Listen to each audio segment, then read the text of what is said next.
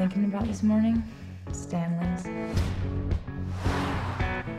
The day you asked me out. I really hope I never have to work in a place like that again. Why should you? You're about to be rich very soon. All right, let's go over it one more time.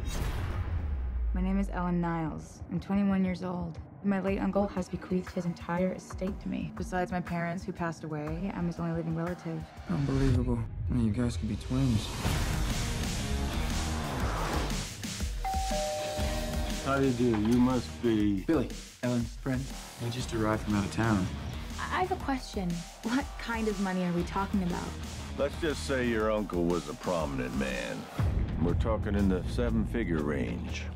Oh, oh, and I'm gonna need to see some ID.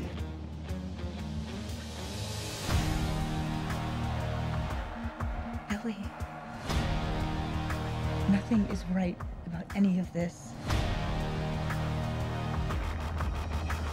You didn't tell anybody about us coming in, did you?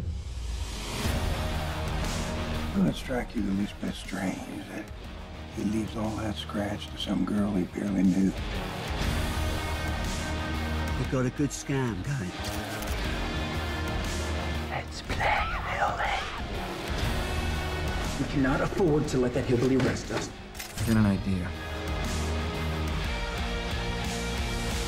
Are you trying to blackmail me? Because I'll wipe the floor with you.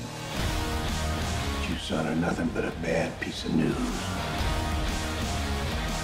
We gotta go. Now.